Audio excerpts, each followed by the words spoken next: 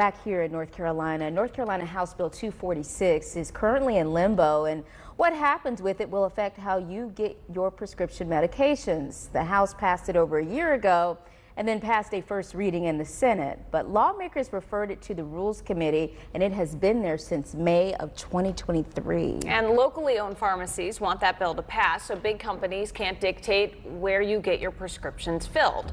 Fox 8's Cassie Fambro has been digging into this story and joins us here in the studio tonight. So, Cassie, what's the status quo? Well, Katie and Natalie, right now, if I'm insured by insurance company A and insurance company A says I can only get my prescriptions mailed to me or I can only go to one certain chain, that's what I've got to do. I can't get it filled wherever I want. For example, at a locally owned pharmacy. We wanted our community to have the same pharmacy experience that we had when we were growing up.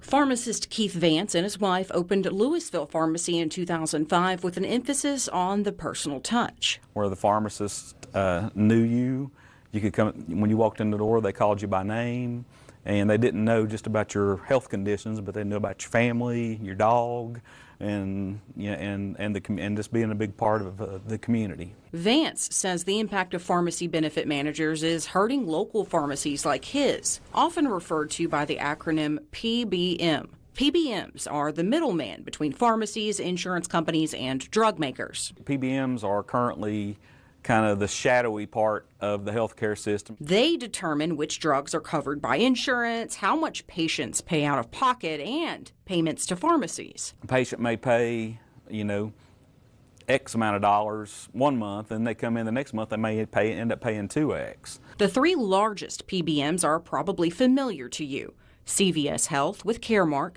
Cigna with Express Scripts, and United Health with OptumRx.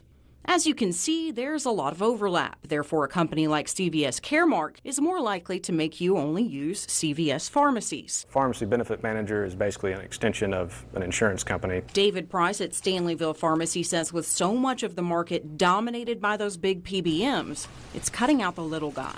We just simply aren't paid enough to even cover the cost of a lot of drugs anymore. House Bill 246 would ensure patients can still pick their own pharmacies and give the State Department of Insurance the authority authority to enforce rules on PBMs, as well as mandating fair reimbursement for all pharmacies, not just for the ones owned by the PBMs. Senator Phil Berger, our uh, uh, Senate President pro tem, and uh, Senator Rabon, um, the head of the Rules Committee, are the two people that have the power to move it to the floor. I'm just hoping that they'll do that.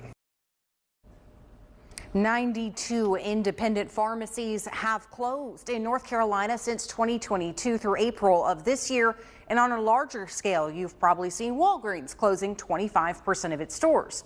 They don't own a PBM, unlike CVS. We also reached out to Senator Berger's office to see if the bill might come to the floor, but we haven't heard back yet. Katie.